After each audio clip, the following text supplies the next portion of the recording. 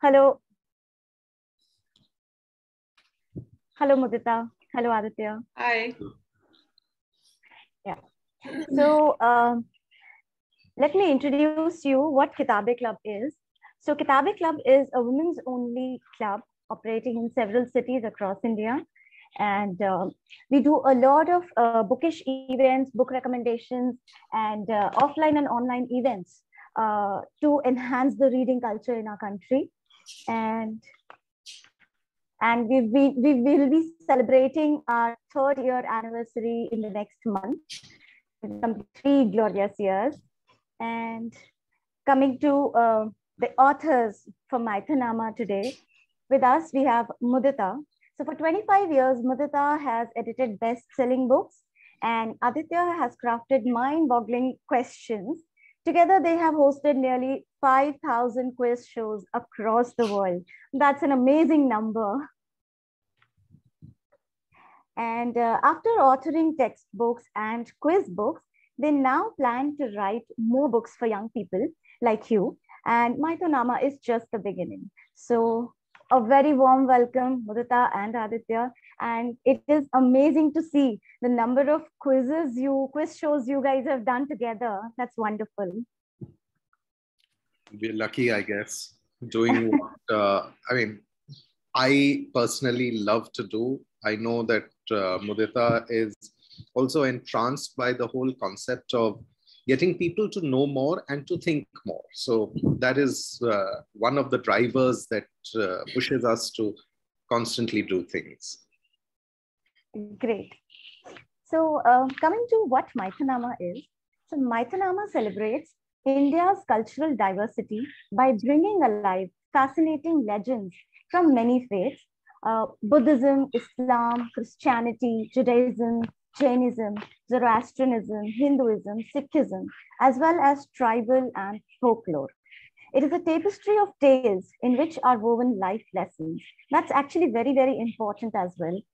Fables fuel imaginations with stories of gigantic birds, shape shifting beings, uh, amazing creatures with people with 10 heads or 1,000 arms, flying horses, talking trees. So Mythonama also features games, puzzles, and immersive activities for deeper engagement. So this is actually wonderful. I think this, these are the things which, uh, which really fascinate all the children to know about a person with 10 heads, 1,000 arms, and flying horses. And if you have quizzes and puzzles along with the legends, I mean, the books and all, the stories, then uh, it's like an icing on the cake. yeah, the, I mean, the idea is that uh, it, you know, now nowadays we we are living in an age of technology and digital, uh, you know, immersion. So a lot of people think that books are outdated, but well, of course they are not. And we love books, and we continue to, you know, sort of promote them. But we also thought of how we could make them as interactive as possible within the format of a book. So if you're reading and also you are sort of constantly thinking because you then have to answer some questions or you know it's making you go to another medium or a website or or a parent or a grandparent to know more about that then we think that that is what the book wants to do. It wants to catalyze you. It wants to make you think and makes you you know not just absorb and not just read but also uh, interact with the book right so um, just one thing, uh, can we, Neha, could we possibly uh, see the people that we are uh, talking to? It would be nice if uh, if we can see the bachas and their parents. Sure. Um, in uh, sure, I think uh, if you guys yeah, can switch on your videos, that would be great. It's nice to put at least faces to some names. True. Yeah, it's always nicer to talk to people rather than uh, to black postage stamps or labels. We hate labeling people, you know, as as an individual. To stick a label onto someone without really knowing that person is uh, uh, uh, not right, in my I opinion. Agree. So I agree. We'd love to see the people around us, especially children, because you know there's something in the eyes in that expression when you talk to kids you look at them, there are questions that are just bubbling out from them. And Yeah. uh, that curiosity is uh, something that is wonderful. And we tend to lose that as we grow older. We, after an age, you know, when kids become teenagers, they think they know everything. And uh, when they get into college, they're damn sure they know everything. So it's only when you become old and uh, start losing your teeth and your hair that you realize, hey, there is so much I don't know. and uh, that's when you realize that uh, the world is so big, so much bigger than any of us. Right. So, Okay, guys, uh, kids, please turn on your cameras. Let's see you. Okay, I think uh, one of the parents just messaged me Oh, saying that since the recording is on, she's not comfortable showing her kid. So, Okay, okay. yeah.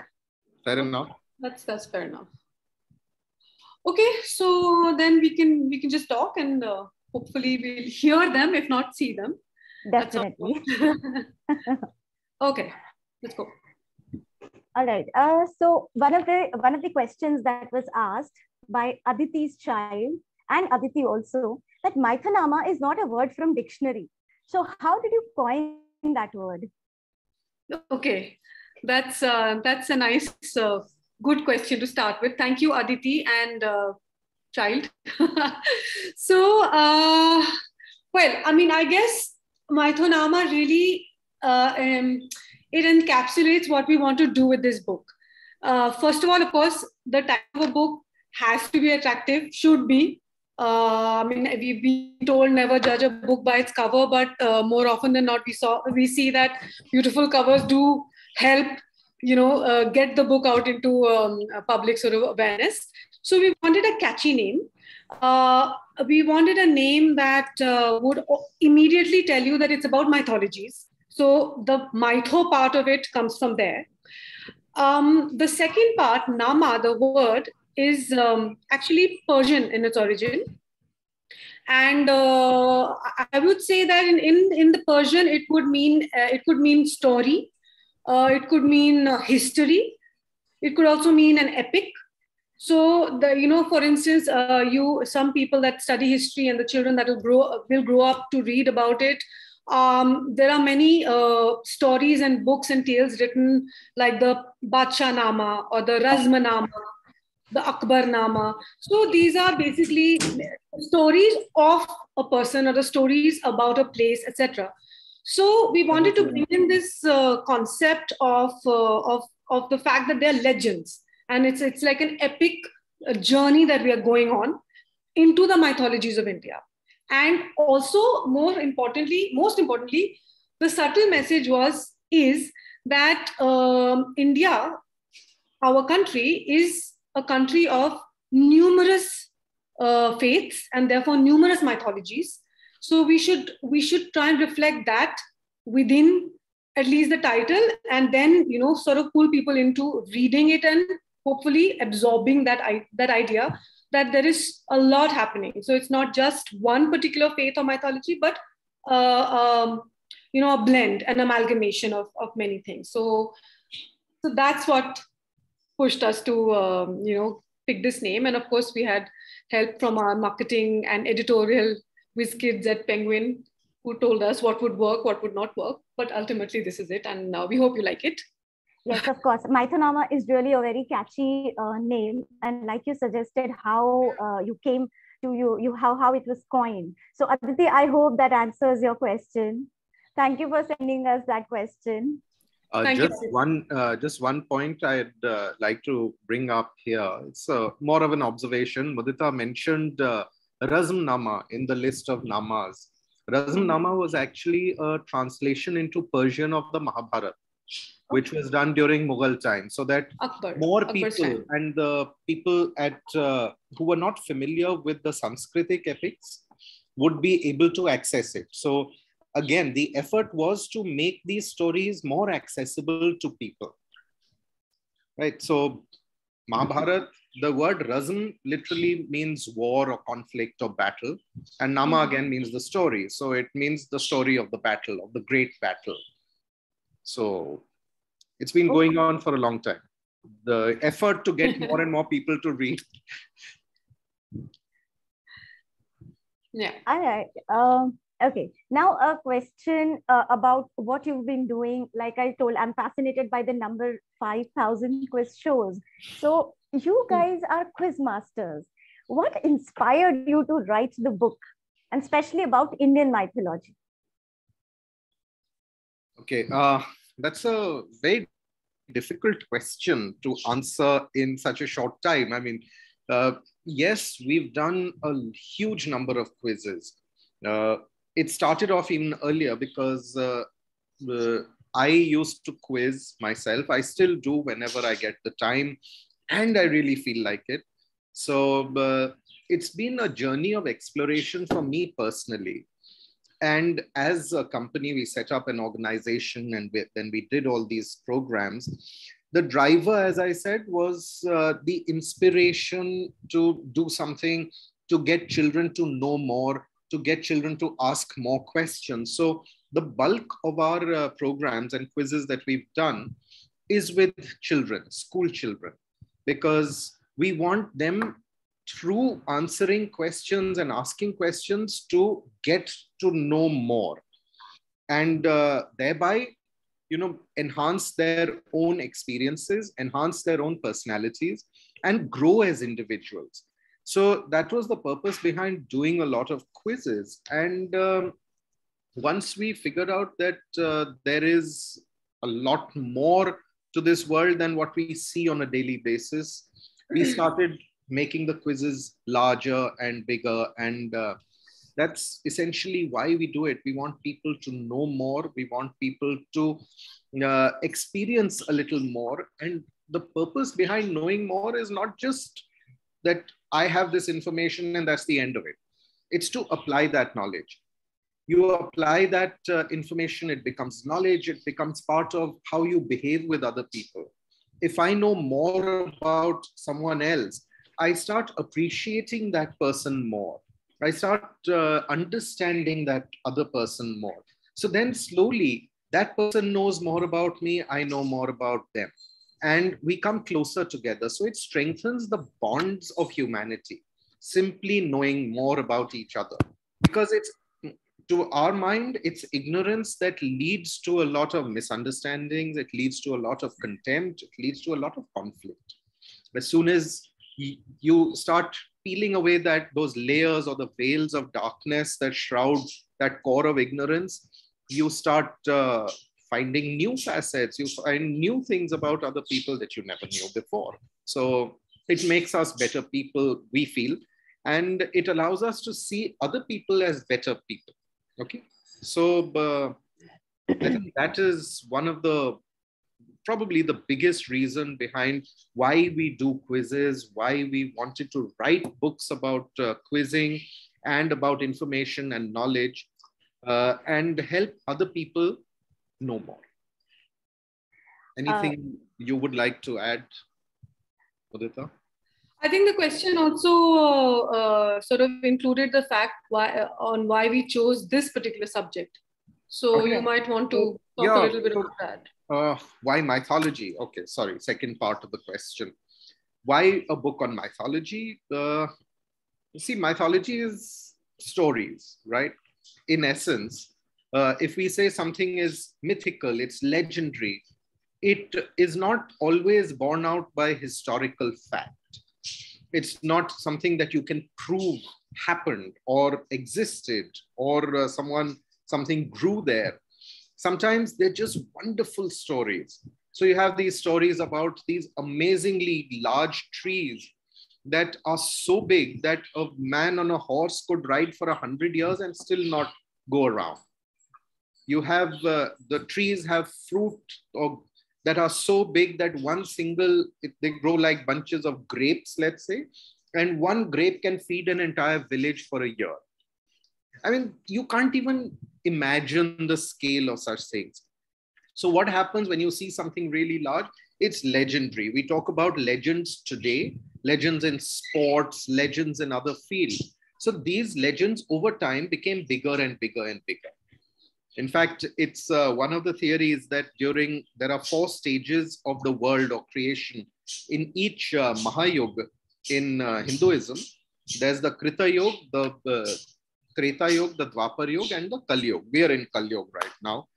So in Kali Yuga, people are about six feet tall. In the Dwapar Yuga, they were about eight feet tall.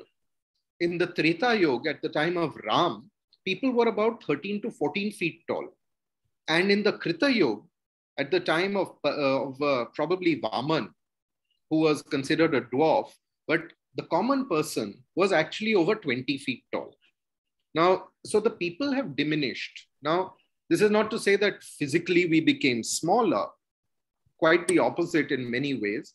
Uh, but it is probably how people or humanity has diminished over the years. And Kali Yuga is supposed to be the worst of humanity. So we are actually becoming worse. So the human human scale is reducing. The interaction with people is reducing. So these are like legends and stories that grew over time. Now all of these have some meaning. They have a lesson that helps us improve ourselves in life When we talk about how uh, Ravan had 10 heads, maybe he didn't actually have 10 heads, right? Today, someone, uh, if your child comes home and tells you that, you know, today I saw a man with 10 heads, you tell the child, hey, stop it, like, झूठ मत बोलो, ऐसे नहीं होता है. तो रावण कैसे था? How did Ravan have 10 heads? Maybe those were 10 facets of his personality that came around. Maybe he had multiple personality disorder. There are various theories about it. So uh, that's how legends grew. But each of those personalities or each of those heads signified something. And uh, uh, similarly, you have someone who's considered to be Hanuman could grow, become small. Maybe he could, maybe he couldn't. But again, the fact of the matter is that there was a story, there was a purpose behind his ability to grow huge and a purpose behind his ability to become small. Similarly, all these mythological stories have purposes to help people become better, to help them lead better lives. So we felt it's important that children today don't forget them you know, in the day of uh, the Marvel comics and DC comics and uh, PlayStations and Pokemons, children shouldn't forget about uh, the, the Buraq and uh, the Jatak stories or the Panchatantra and stories like this, which are all part of our own culture, our legends. And uh, they need to be reminded. And if we can do it in a way that's fun, that's engaging, that encourages them to want to know even more about it. After reading the book hopefully they'll say okay uh, but there must be more because you know you've talked about this you may have but there's something else obviously. So let them find out more. I'm not saying that they have to come to us every time but it encourages them to learn more to know more. So uh, mythology is very much a part of our heritage. It's a part of our tradition, and we wanted them to know the plurality of India. India, they say, no, uh, it's a land of great diversity. We have unity in diversity. So, as one nation, we have many different people, many different cultures. We are like a mini world in itself. I mean, people from one part of the country don't understand people from another part of the country when they speak in their own languages. Similarly, they wear different clothes, they have different climates, like right now we're in the north of india. We're in delhi. It's 44 or 45 degrees temperature outside. Down in uh, bangalore it's 26 degrees. In dehradun which is just 200 kilometers away it's about the same. It's about 27 28 degrees. So the climate is different in different parts of the country. The languages are different. Food is different. What we wear is different. And our stories also become different so we have to understand that one area story may be completely different from another area story. So read about all of them, find out more, understand each other more, and thereby come closer. Have I said, I, have I said a lot? no, but what you said actually uh, makes a lot of sense. We uh, and you know why we need to read these uh, read these mythological stories is important I'll just stray away from what I was asking. Towards the beginning, uh, Aditya, you said that um, you used to question yourself, you used to quiz yourself. I would like to know more about that. Ah, okay, sorry. Uh, that's uh, maybe it came across like that. I used to quiz. I was a quizzer or a person who used to take part in quiz contests. Okay, okay. In school. So it's been what, uh, 1978 I started. So it's been 44 years now that I have been taking part in quizzes myself. So it's been a journey of discovery for me, right from the first uh, question and answer session that I had, which my grandmother introduced me to, apart from stories that she told me about uh, Hanuman and uh, Sheikh Chilli and Jumman and uh, Mirza Nasruddin and Mullah Nasruddin. She also told, uh, started asking me questions about general knowledge, as it was called. So my GK improved. I became inquisitive by nature. I couldn't stop until I'd read like a lot around the subject. Of course, sometimes it meant that my academic subject, so let's say science, if I'm studying about it, I would go off at a tangent, find out 10 different things, none of which were really useful for me in my answering at that time. But that was also because, you know, in a school syllabus based test, you need to give that particular point as the answer. If you write five other things, the teacher is probably going to cut marks for saying, okay, this boy doesn't really know very much. He's writing a lot of stuff around it to disguise that fact. Maybe I lost marks because of that. But uh, definitely, it made me uh, find out a lot more things about it. And possibly, as a concept, you get to know your academic subjects better if you can read around what your school textbook tells you. So, yeah, we would like children to read more. And uh, that's what I meant when I said I was a quizzer myself. I used to quiz myself, not that I kept asking myself questions, which I still do. I mean, all of us do that at some point of time or the other, but uh, we always don't have the answers. But uh, yeah, I used to so take think, part in quizzes. Aditya, you touched upon a very important thing, which um, all the parents here will agree that we need to make our kids more inquisitive by asking them questions. And that really helps maybe not academically but otherwise to be uh, to you know uh, to improve their personalities to improve the person they are. So yes that's i think a very great insight that you have given us. And coming to the next question uh, ruchi kala had asked us that uh, she's a mother to an eight year old uh, child. Uh, they are avid readers. Uh, she reads a lot to her kid, but uh, she has never read any mythological stories to her kid. And her question is very specific to that. So she asks that, you know, the current generation, uh, how do you how do you relate those stories in the current times to the generation? So like she is not able to relate uh, any of the stories to her eight-year-old child that you know how I related to the current times. Her daughter maybe asks her questions which she's not able to answer. So Mudita, how do we do that? Um, I think that's an, a very interesting question, which obviously comes from a very uh, from a person, a parent that's thinking a lot about their parenting. Um, I would say, Ruchi, thank you for the question. Um, uh, so, as Aditya said, mythology is an ocean, really, of um, stories that are as fantastic as uh, you know they can possibly be, but also at the core, at their core, extremely um, rooted in what life is all about or what life should be. And if we really look, there are there are answers to many questions. There are also life lessons inside a lot of the legends because they've obviously grown out of the need to explain something to someone somewhere. So if uh, Ruchi and other people are struggling with this, um, I think it's important to uh, definitely filter, uh, you know, the amount of information that is out there and see what applies really to whatever is age appropriate, whatever is, you know, region appropriate, language appropriate, etc. And this is something that we try to do in the book. When you, whoever does read the book, will realize that, uh, you know, it's not just the story, let's say, of a 10 headed person or a 10 headed beast or a, or a flying horse.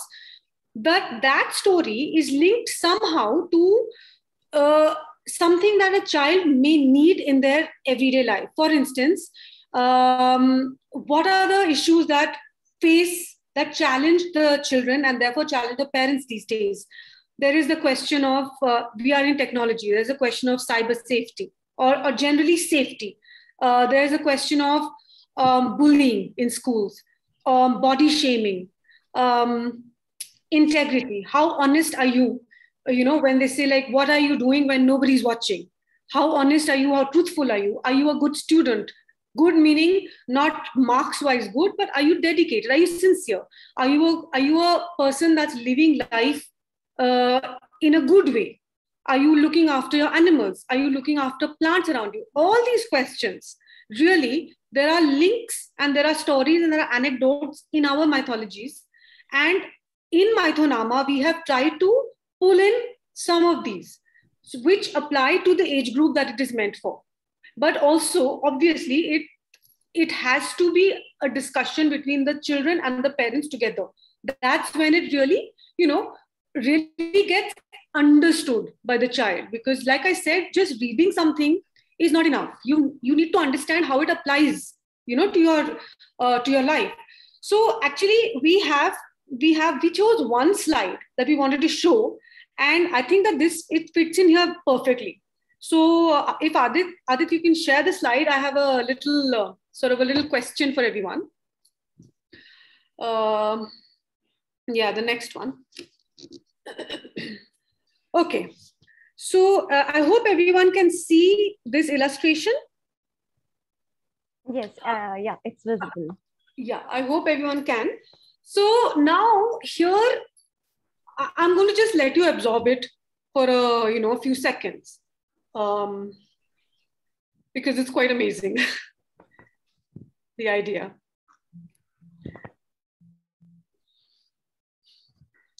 So if, so can anyone just would anyone like to talk about it? Anyone in the audience? Just just what what is this thing?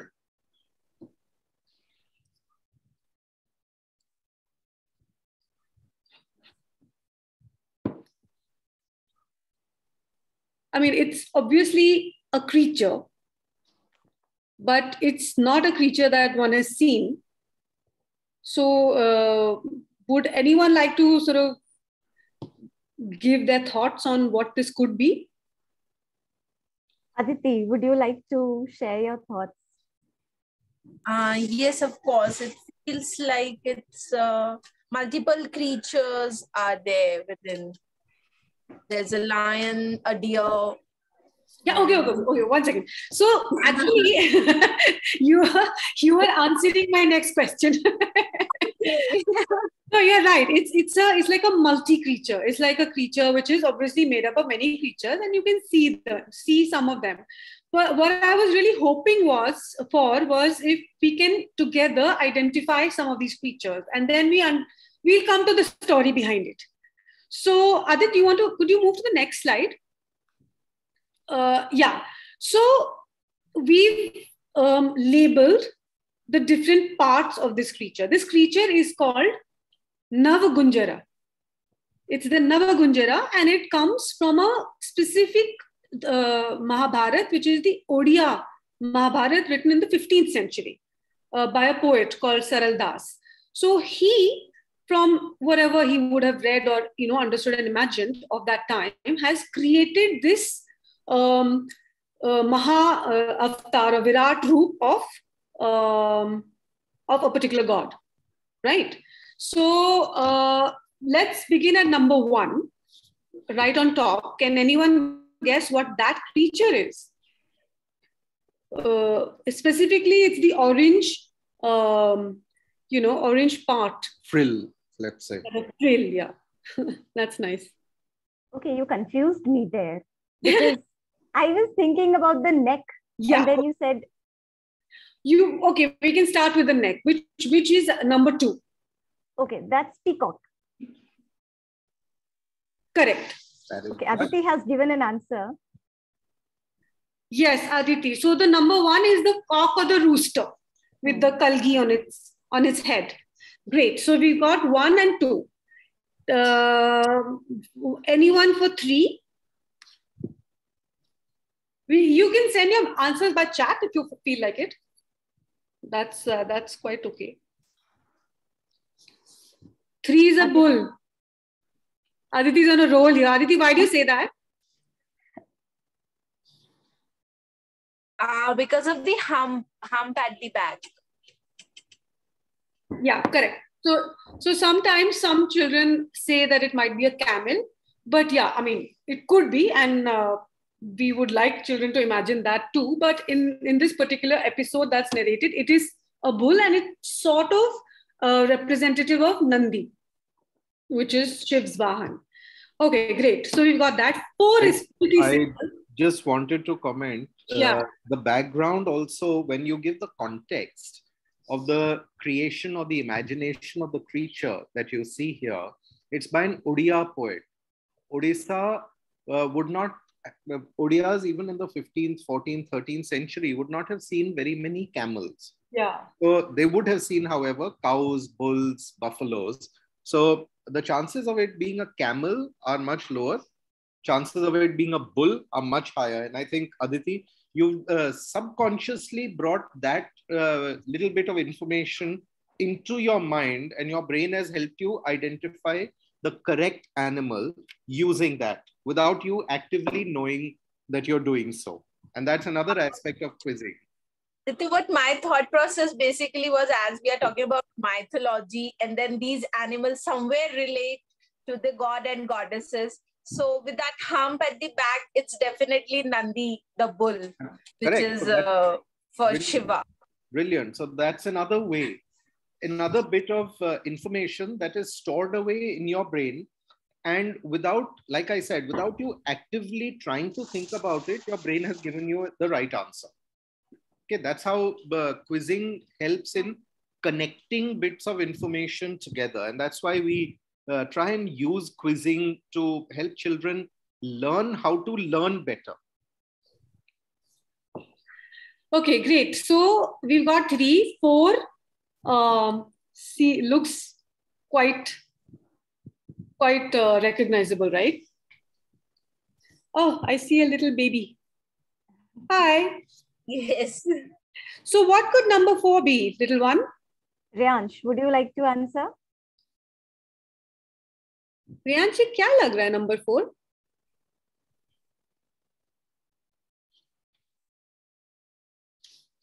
So this this um, green uh, which is the tail of this fantastic creature is a is a serpent or a snake right? And it's sort of turned around and it's trying to read whatever this this this creature is reading. Okay let's go so five number five is actually not very easy to distinguish but maybe somebody can try because of the coloration um, yes aditi yeah. it, it is a lion tell us how you got that the color difference and again the mythology connect.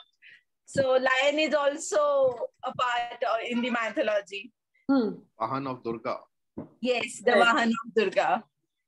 correct and uh, number six is another big big cat Tiger. Just, Tiger, yeah. Fairly i think it's probably one of the most recognizable. Um, then we come to number seven which is the other leg which is extended. That's a Uh, deer, I it's a deer. Yes. correct. Correct. It's a deer. A deer antelope whatever. Then we go to number eight which is sort of like uh, you know sort of embellished. Uh, i don't think in real life it has those amazing ornamentations. But uh, what do you think that is? You can also see a bit of a nail at the bottom to give That's you an an idea elephant. it's an elephant. Yes, it is an elephant. It's gray colored and it's thick, right? It's like a it's the it's the foreleg of an elephant. And then coming to number nine, should be fairly simple. That's a human Number- hand, but I think that's a goddess. Or it could be. Why do you think so?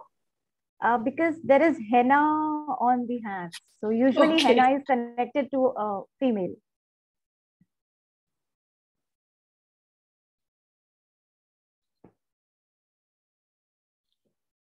What happened? I think. Oh, okay. Yeah. Well, I mean, but you know, this is the age of gender neutrality, so we are not uh, we're okay with whoever wants to wear henna.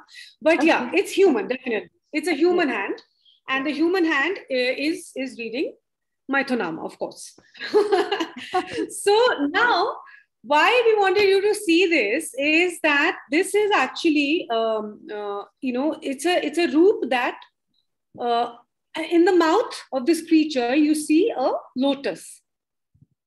It's a lotus, and the lotus is for in Hindu mythology representative of Vishnu mm-hmm. or Krishna. And so, uh, so here, this is actually an episode that is represented, an episode from the Mahabharata where Arjun is in the forest and uh, he is on the verge of actually destroying a forest called Khandaprasth. When uh, Krishna decides to uh, you know, appear in this amazing form made up of nine different animals. And it's a big, fantastic, uh, amazing, incredible, never seen before, uh, you know, uh, uh, chimera that sort of stands up in front of Arjun. And Arjun immediately stops. And so we, we this is one of the episodes where I'm trying to link back to the question that why we should read mythology, what is coming to us from mythology. If what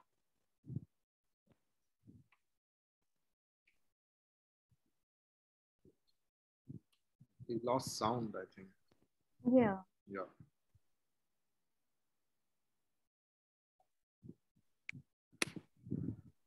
Sorry, I don't know what happened to my. Uh, am I vis- uh, audible? Yes. Yeah, you are.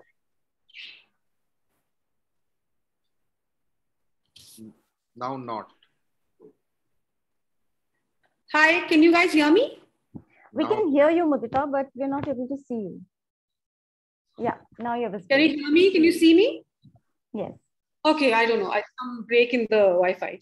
So um, I was saying that this. I, I, I was I audible when I said uh, when I said the part about the appearance of Krishna in this avatar? Yes. Uh, to Arjun. Yes. Adit, why don't you take over? I think my internet is giving some issues. Okay, so basically, uh, this is this appears in that part of the Mahabharata where Arjun is about to destroy the Khandav and burn it all uh, so that Agni can feed off it in some cases. In other cases, Arjun destroys the entire space so that the Pandavas can then build their capital there. But suddenly, this amazing creature appears in front of him, and Arjun takes one look at it and says, This cannot be any real animal. It has to be divine because it has so many different features in it, so many different animals combined or conjoined to make one fantastic beast.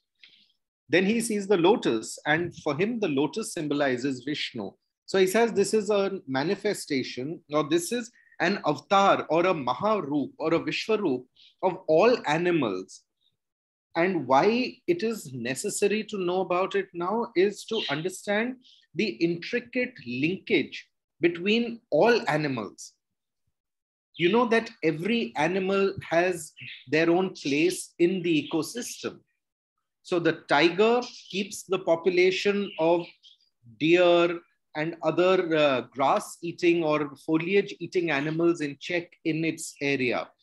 Those guys keep the plants in check. Those guys uh, provide manure for the plants to grow as well. So every creature, whether it's an ant or a beetle or a spider or a fly or a bird or a bigger bird or an eagle or um, a lion or a tiger or a deer or a, even a pig has its own place in the natural ecosystem.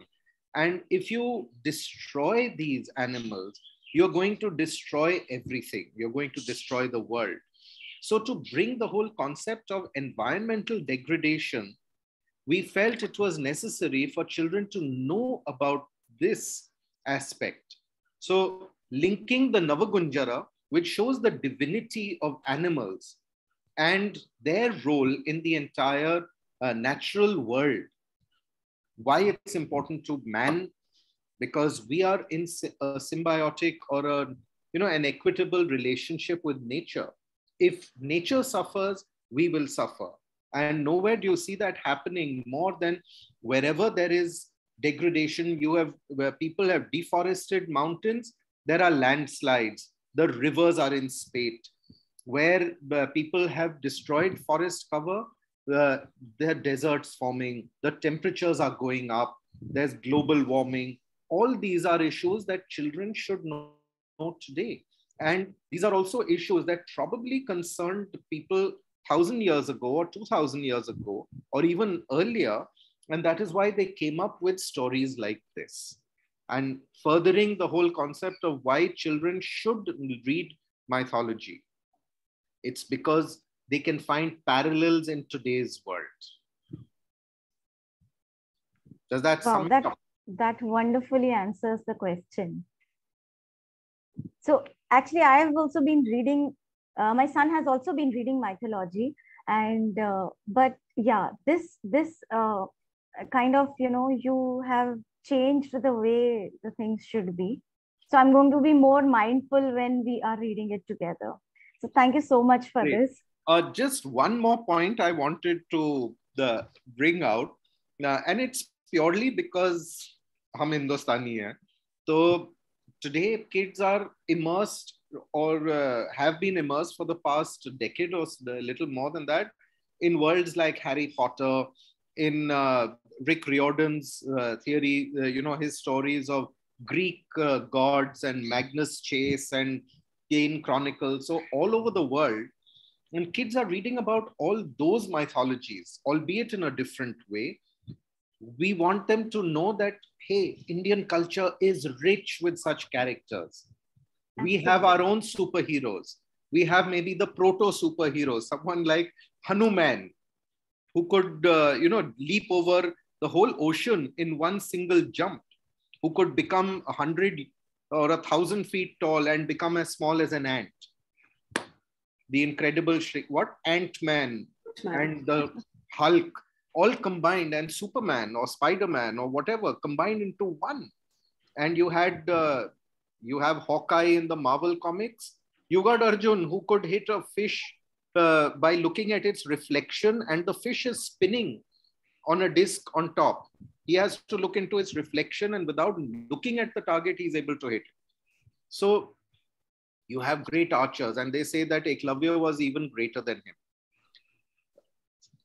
That's another story, and uh, maybe when they're a little older, they can learn more about Eklavya and Karn and uh, the parallels of uh, these people's lives. But that's a completely different sociological story to talk about. So thank you so much for this. Uh, one last question to both of you. Uh, what kind of challenges you faced while uh, you were writing this book, while you were, you know, collecting the data and everything? How it came about? So, You want to take that?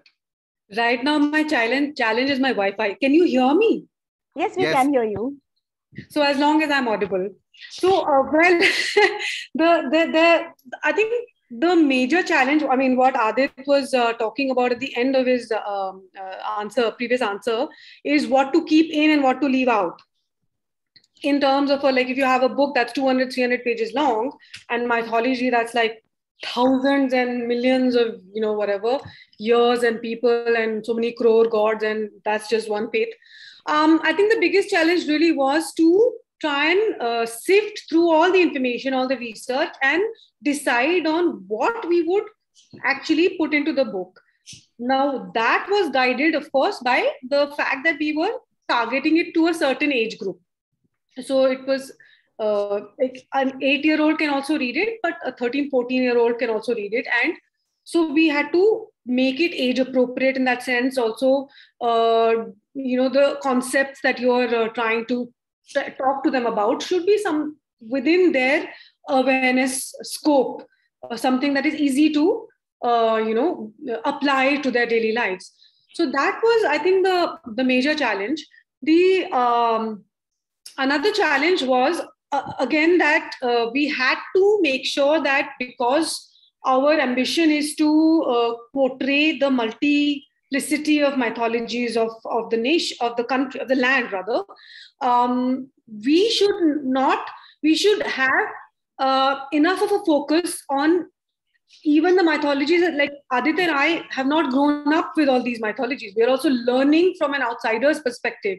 So it becomes very important to be very sensitive to their, uh, uh, you know, tenets, what is sacred, what is uh, to be said, what is not to be said, and then say it in a language which is easy for a child, a young reader rather, to, uh, to accept and uh, really appreciate.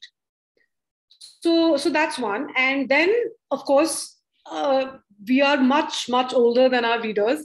So to be able to um, i think the very important uh, motivation for us is that we never we never want to talk uh, down to to a child. We never want to say that oh we know so much. In fact it's the other way around. I think we can learn so much. So the but but you know to come to adjust your uh, language to a level where uh, we are both on the same wavelength and we are able to you know uh, not crack silly jokes but yet be humorous um, and still you know sort of be relevant to a young teenager tween preteen who is uh, you know uh, exposed to so much so many different kinds of uh, writing that was a challenge personally for us because uh, you know we so we had uh, luckily we have two teenagers in the house who are daughters so they read our many drafts and uh, you know they told us where we were going off and they were okay. No dad jokes no dad jokes or mom jokes. So um, what are the challenges adit? Uh, uh, no i think you've encapsulated it. First up uh, what uh, to keep and what to leave out, uh, either from the point of view of relevance to today's times and uh, also to the uh, you know the whole age appropriateness, and uh, b to make it accessible. Basically, a lot of the concepts, the way the book is structured, it's not a simple like a chronological flow. It is uh, clumps and clusters of different uh, things coming together. So to create the parallels and to find and uh, bring in the parallels where required, that took a little bit of effort, but also to identify the themes that go into every chapter. So we have one on twins because it's very important for children to know today, you know, uh,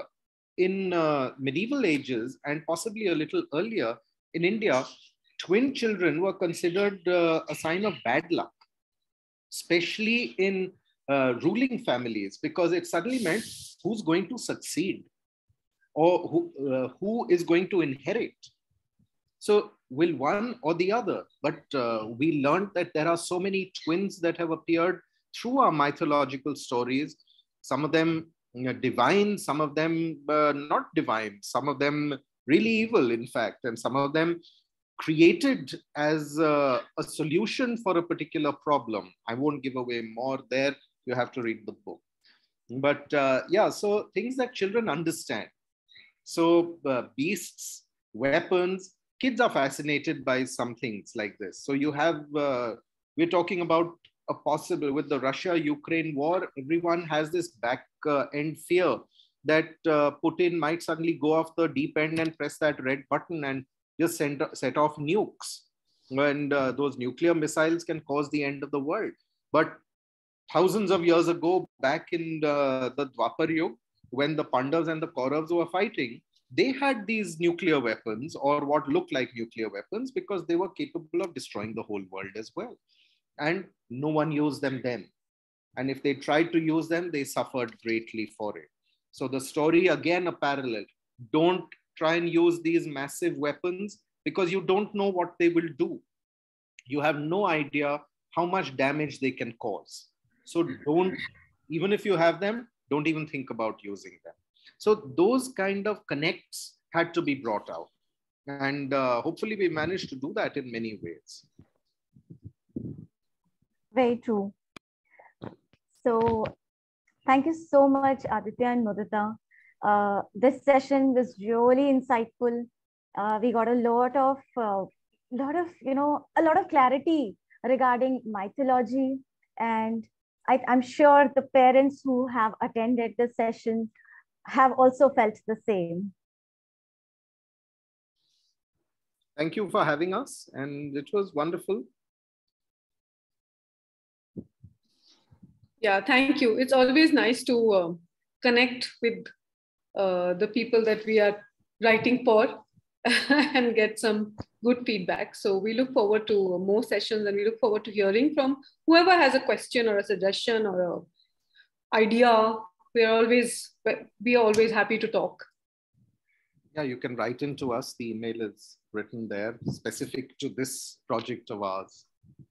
And we'd like to thank uh, one uh, set of people who uh, we want to thank definitely, apart from the entire Penguin Random House uh, India team, which helped us put this together, is a very, very talented pair of uh, illustrators and artists.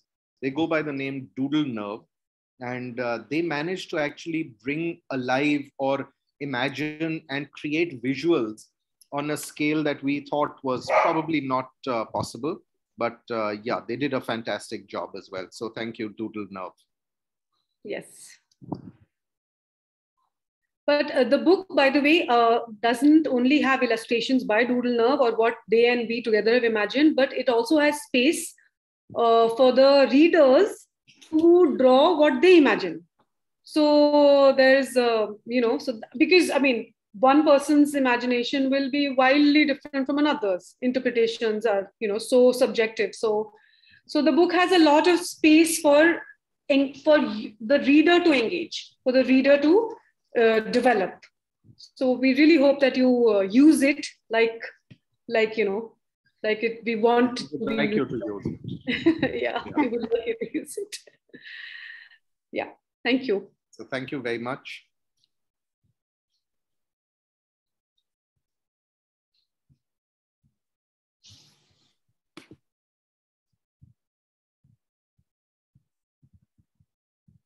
Thank you, Nick.